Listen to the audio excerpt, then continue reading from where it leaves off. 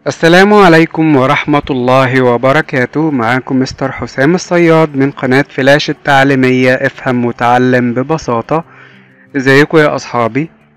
النهاردة إن شاء الله مع منهج ال math primary 2 أو الصف الثاني الابتدائي ودي الحلقة التانية مع منهج ال math. والنهاردة هنبتدي نحل بعض ال math problems أو بعض المسائل على الجزء اللي خدناه في المرة اللي فاتت. وزي ما إحنا متعودين يكون معاك الكتاب وقلم ولو مش معاك الكتاب يكون معاك كشكول نكتب فيه ونذاكر منه ويلا نبدأ. بسم الله الرحمن الرحيم. طبعا ده cover الكتاب بتاع ال mathematics أو ال math primary 2 الصف الثاني الابتدائي term 1 الترم الأول. وفي ال page دي في طبعا آه كلمة عن خطة الوزارة لتنمية وتطوير التعليم والمناهج التعليمية اللي هتنتهي إن شاء الله سنة 2030 وهنا في ال page دي كلمة سيد وزير التعليم الفني والتعليم الأساسي عن خطة تطوير التعليم. وطبعا دي أول page في الكتاب. هنا ال name بنكتب اسمنا. وال contents طبعا عندنا 60 lessons أو 60 درس في الترم الأول. From lesson 2 حتى lesson 60 أو من درس رقم 2 حتى الدرس رقم 60 وأول page في الكتاب فيها lesson 2 درس رقم 2 apply apply تطبيق نطبق.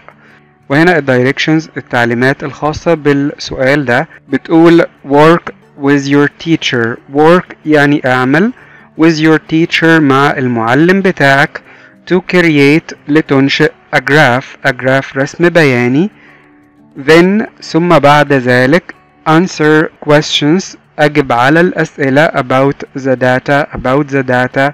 الخاصة بالبيانات اللي انت هتلاقيها في ال graph اللي انت هترسمه. وإحنا أخدنا المرة اللي فاتت يا أصحابي السؤال أو ال math problem الخاصة ب favorite day of the week أو اليوم المفضل في الأسبوع إن إحنا هنبقى موجودين في ال classroom أو في حجرة الفصل بتاعتنا مع ال teacher بتاعنا وهيطلب مننا نسأل أصحابنا أو هيسألنا كل واحد لوحده عن ال favorite day of the week الخاص بيه أو اليوم المفضل في الأسبوع الخاص بيه.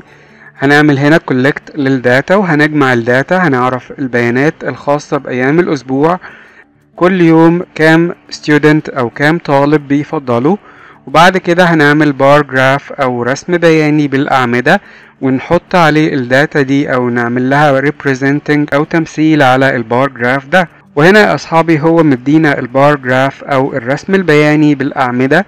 المفروض إن إحنا دلوقتي هنعمل collect لل data وهنشتغل مع ال teacher بتاعنا أو هنعمل work with your teacher. هتشتغل مع ال teacher بتاعك to create a graph إن أنت تنشئ a graph رسم بياني. وبعد كده هنجاوب على بعض الأسئلة أو زي ما هو بيقول لنا then ثم بعد ذلك answer questions. أجب على الأسئلة about the data الخاصة بالبيانات أو عن البيانات.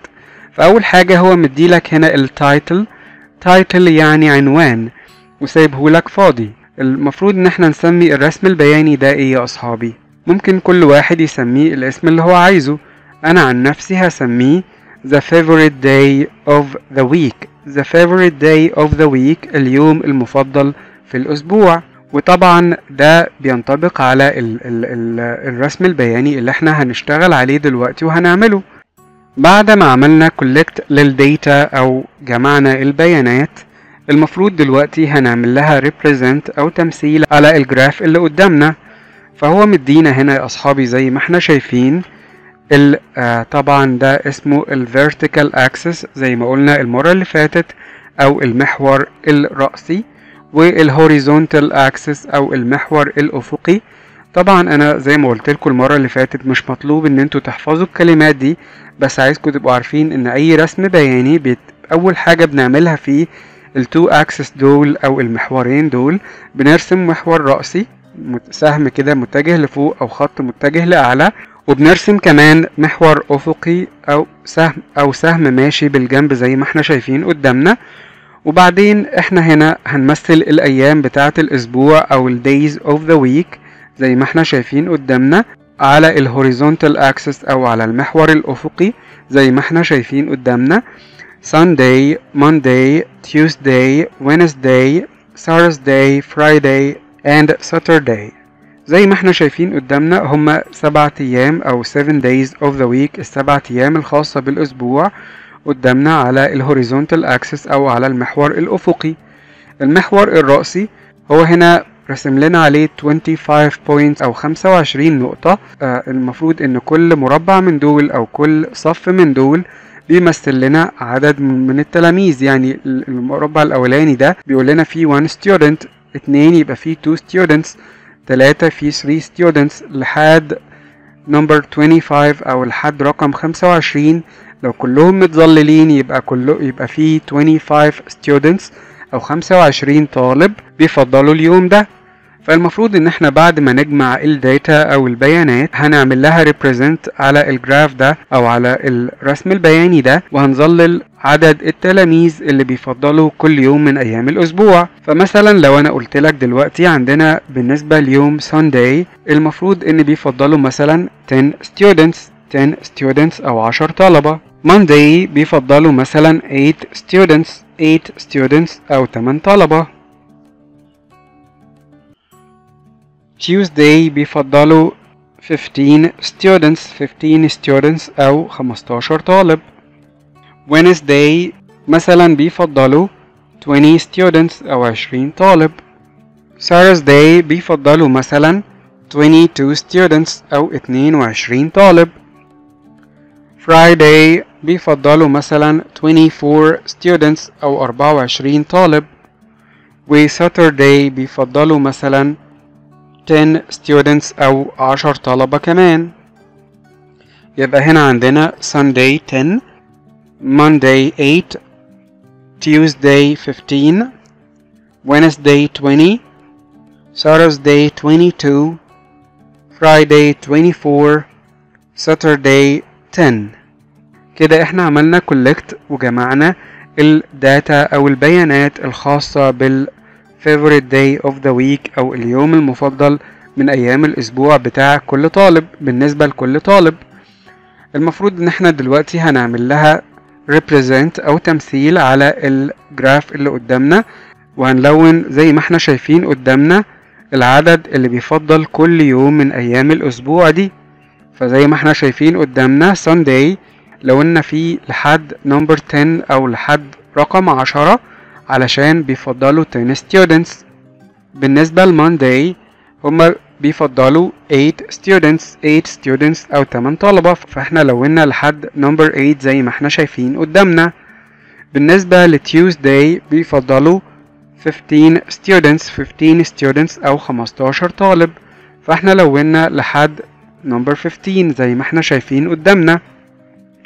بالنسبة ل Wednesday بيفضلوا 20 students 20 students أو 20 طالب.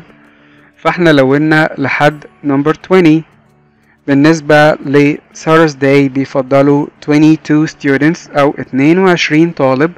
فاحنا لونا لحد number 22 أما بالنسبة لفرايداي فبيفضلوا 24 students أو 24 طالب. وآخر يوم Saturday أو يوم السبت بيفضلوا 10 students أو 10 طلبة زي ما إحنا شايفين قدامنا. كده إحنا عملنا working with our teacher أو اشتغلنا مع المعلم بتاعنا علشان خاطر نعمل creating أو ننشئ a graph رسم بياني يوضح ال favorite day of the week اليوم المفضل من أيام الأسبوع الخاص بكل واحد من أصحابنا في ال classroom تاني حاجة بيقول لنا then answer questions about the data. Then ثم بعد ذلك answer questions أجب على الأسئلة about the data الخاصة بالبيانات اللي موجودة على ال graph اللي إحنا رسمناه. إيه هي الأسئلة يا أصحابي؟ هنلاقي طبعا في آخر الصفحة بيقول لنا my favorite day of the week is يومي المفضل من أيام الأسبوع هو مثلا أنت هتكتب طبعا هنا اليوم اللي أنت بتفضله. فبالنسبة لي مثلا أنا بفضل Friday أو يوم الجمعة. Our plus favorite day of the week is اليوم المفضل الخاص بالفصل بتاعنا من أيام الأسبوع هو. طبعا هنشوف أكتر يوم بيفضلوا أصحابنا في ال classroom وهنكتب اسمه هنا. فبالنسبة لنا هنا مثلا هنلاقي إن Friday هو أكتر يوم مفضل من أيام الأسبوع فهنكتب هنا كمان Friday. لو يوم تاني ممكن تكتب اسمه برضو عادي. وبكده نكون أنهينا ال page دي وحليناها بشكل سليم ونتنقل لل page اللي بعد كده. خليكم معايا. ونوصل ل page number 2 أو صفحة 2 ولسه مع بعض بنتكلم عن lesson 2 بس المرة دي الصفحة اللي موجودة دي اسمها ال math journal. math journal أو كراس الرياضيات وهنا مهمة ال page دي إن هي تخلينا نتأمل ونفكر في المعلومات اللي إحنا بنتكلم عنها في الدرس ده. فكأننا معانا كراسة بنكتب فيها أفكارنا وبنتأمل وبنتخيل فيها المعلومات الخاصة بالدرس اللي إحنا بنذاكره دلوقتي. وال directions بتاعة ال page دي بتقول لنا reflect reflect اعكس وضح on your learning الحاجات اللي أنت اتعلمتها write or draw write or draw write يعني اكتب or draw أو ارسم three things three things تلات حاجات you noticed you noticed أنت لاحظتها about the class bar graph about عن the class bar graph الرسم البياني بالأعمدة الخاص بالفصل about the class bar graph الرسم البياني بالأعمدة الخاص بالفصل. وطبعا زي ما إحنا شايفين قدامنا هو مدينا هنا frame أو برواز كده ومدينا فيه آه تلات سطور أو 3 lines. المفروض إن إحنا نكتب أو نرسم تلات حاجات إحنا عملنا لها notice أو لاحظناها خاصة بال bar graph اللي إحنا كنا لسه بنعمله بتاع ال favorite day of the week فالمفروض إن إحنا هنرسم إيه أو هنكتب إيه. أنا مثلا ممكن أكتب إن Friday is the most favorite day of the week. إن يوم الجمعة هو أكتر يوم مفضل من أيام الأسبوع. ده أول حاجة. ممكن كمان أكتب Sunday equal to ومش عايزكم تنسوا كلمة equal to. لو لو تفتكروا يا أصحابي إحنا خدنا السنة اللي فاتت equal to يعني مساوي لي و greater than greater than يعني أكبر من و smaller than smaller than أصغر من. افتكروا المعلومات دي كويس عشان هنحتاجها بعد كده كمان شوية. ف equal to يعني مساوي لي.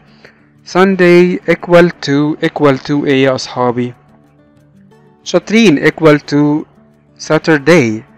يوم الحد كان ال favorite day ل 10 students وكمان يوم السبت أو Saturday كان ال favorite day بالنسبة ل 10 students أو 10 طلبة برضو.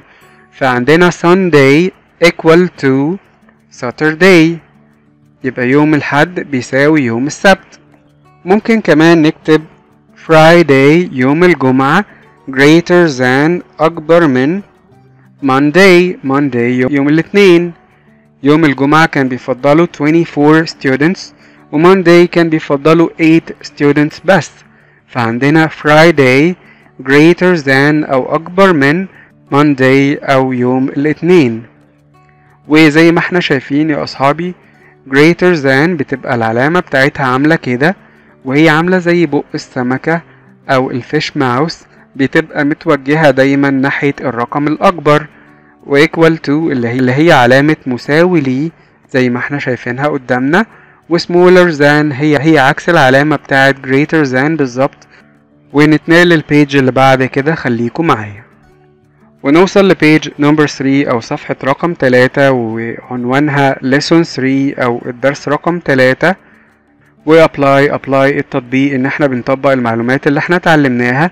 وال directions هنا بتقول لنا use the favorite day of the week graphs استخدم الرسم البياني الخاص باليوم المفضل من الأسبوع to answer the questions لتجيب على الأسئلة. يبقى إحنا لسه هنحتاج ال graph بتاع ال favorite day of the week. هنستخدم لسه ال graph ده وهنستخدمه في الإجابة عن الأسئلة الموجودة هنا. فالسؤال الأولاني بيقول How many students like Tuesday best? How many? كم عدد students الطلبة like Tuesday best بيفضلوا يوم Tuesday الثلاثاء أكتر? لو تفتكروا كان بيفضلوا 15 students أو 15 طالب فهنكتب هنا 15 students. السؤال التاني بيقول لنا How many students How many students كم عدد الطلبة like Friday best? Like Friday بيحبوا Friday يوم الجمعة best أكتر. المفروض إن كان يوم الجمعة بيفضلوا 24 students أو 24 طالب. فهنكتب هنا 24 في النقط دي بقى يا أصحابي بيكلمنا عن greater than و smaller than و equal to اللي إحنا كنا لسه بنتكلم عنها من شوية. فهنا بيقول لنا في point number 1 أو نقطة رقم واحد Tuesday و Friday. هنكتب هنا Tuesday رقم الطلبة اللي بيفضلوه و Friday رقم الطلبة اللي بيفضلوه. وهنحط في السيركل اللي في النص دي أو الدايرة اللي في النص دي العلامة المناسبة. ف Tuesday كان بيفضلوا 15 student و Friday كان بيفضلوا 24 students أو 24 طالب. المفروض إن إحنا نعمل هنا علامة إيه يا أصحابي greater than ولا smaller than ولا equal to. شاطرين إن إحنا هنا هنا هنعمل علامة smaller than أو علامة أصغر من Tuesday هيكون smaller than Friday وهنعمل هنا علامة smaller than زي ما إحنا شايفين قدامنا أو هنقول بق السمكة بيكون مفتوح ناحية الرقم الأكبر. فطبعا هنا العلامة بتاعت smaller than مش متوجهة ناحية الرقم الصغير لا هنا هي متوجهة ناحية الرقم الكبير. وفي point number 2 أو رق... أو في النقطة رقم 2 Monday. و Friday. Monday. 8 students. و Friday زي ما إحنا عارفين كان في 24 students أو 24 طالب. فنعمل هنا greater than ولا smaller than ولا equal to. شاطرين. هنعمل علامة smaller than برضو لأن 8 أصغر من 24 فهنعمل هنا علامة smaller than. طب في point number 3 أو النقطة رقم 3 Tuesday و Thursday.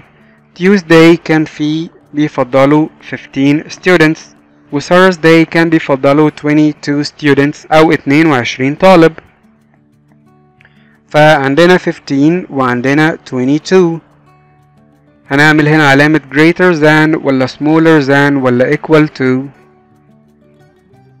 شاطرين هنعمل برضو علامة smaller than Tuesday اللي هو ال 15 أصغر من Thursday اللي هو 22 students